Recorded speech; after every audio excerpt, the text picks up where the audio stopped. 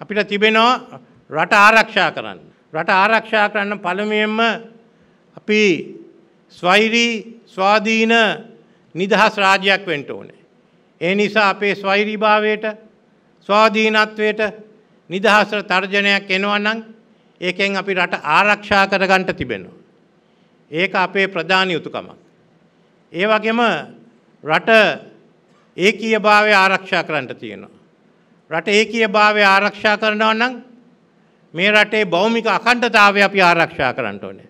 1983 ඉඳන් 2009 දක්වා අපේ ත්‍රිවිධ හමුදාවත් පොලිසියත් තමන්ගේ ජීවිත පරිත්‍යාග කළා. අපේ රටේ භෞමික අඛණ්ඩතාවය ආරක්ෂා කරා.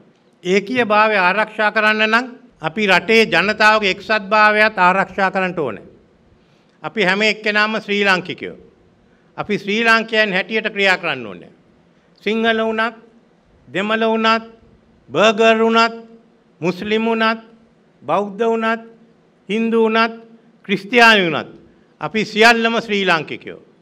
ශ්‍රී ලාංකයන් හැටියට අපි ඉදිරියට යන්න ඕනේ. අපි හැම එක්කෙනාම අපේ සංස්කෘතිය, අපේ ආගම ආරක්ෂා කරන්න ඕනේ.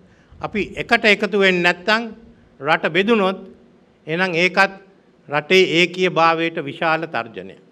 අපේ රට ආරාජිත වෙන්න පුළුවන්. පාර්ලිමේන්තු නැති රටවල් ආරාජිත වෙනවා. නැත්තම් ප්‍රජාතන්ත්‍රවාදය නැති වෙනවා. ඊළඟට අපේ රට ආරක්ෂා කරන්නට නම් අද අපි තවත් ප්‍රශ්නයකට මුහුණ දීලා තියෙනවා. ඒ තමයි ආර්ථිකය.